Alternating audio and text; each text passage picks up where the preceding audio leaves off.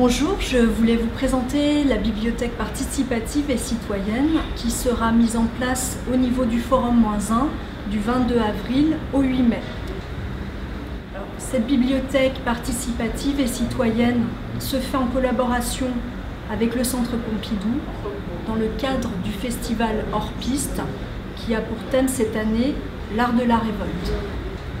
Les usagers vont pouvoir prendre et échanger des documents dans la bibliothèque participative.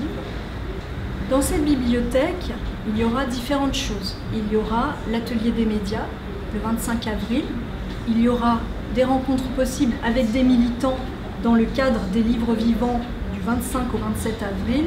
Et surtout, chaque jour, pendant l'amplitude horaire de 14 à 19 heures, horaire de la bibliothèque, Wous animera son laboratoire. Alors, le laboratoire des anarchives de la révolte de Bruce dans cette hypothèse est une augmentation du processus de don matériel initié par euh, la BPI.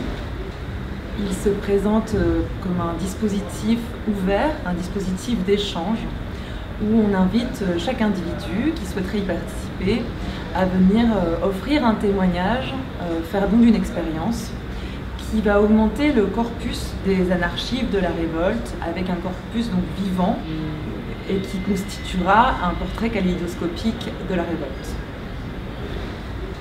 À travers les lectures subjectives des uns et des autres, certains fragments de texte vont être euh, euh, agrandis, euh, publiés, affichés au mur, et donc pas seulement les livres, mais tous les documents autres euh, qui euh, ont pu aussi compter pour vous euh, en tant que agissants, désobéissants, militants, en tout cas actifs par rapport à, la société dans laquelle nous vivons.